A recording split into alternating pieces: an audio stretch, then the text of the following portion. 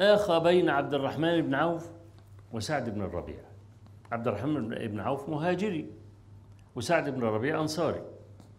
فلما آخى بينهما قال سعد لعبد الرحمن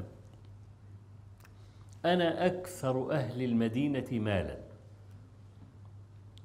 وعندي زوجتان.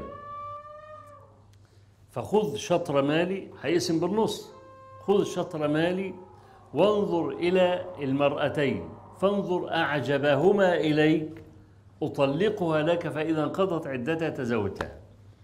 يعني ده مثل عجيب لم يسمع التاريخ به. إلا النساء. ما يستطيع أن يتنازل أحد عن عرضه. أقول له أنا امرأتي متزوجة فانظر أعجبهما إليك. آه طب حتى يديله الواحدة النكدية. يعني نقول خد دي كويسة أوي. مثلا نكدية عشان يستريح منها مثلا.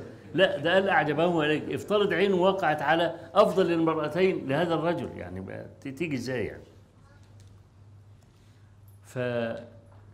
فقال له عبد الرحمن بارك الله لك في أهلك ومالك آه. آه. خير إن شاء الله